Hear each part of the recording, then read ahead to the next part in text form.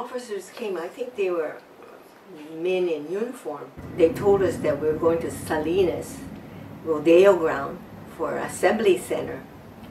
And so immediately there, they needed uh, uh, cooks and waitresses and waiters. And, and so that's when uh, I met my husband.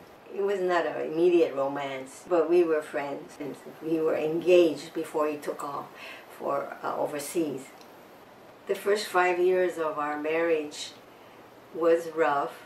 We had a lot of good times here. About the fifth year of our marriage, uh, we started our family. My daughters, um, Connie and Bonnie, were the only one that had uh, children. Jessica was the firstborn, and then Kenneth was the second grandchild. With um, Jessica and Kenneth, I think I would say that taking care of them for eight, nine years was the was the best.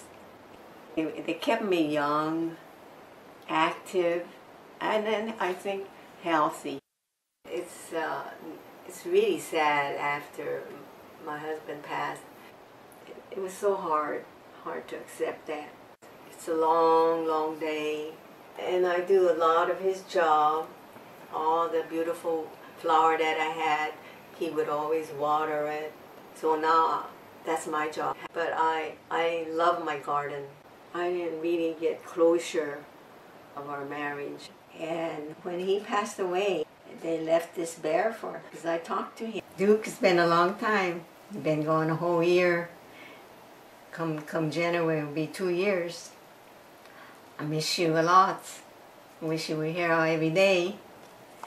I especially miss you when, when it's time to rake the leaves and water the beautiful flowers that he used to always water for me.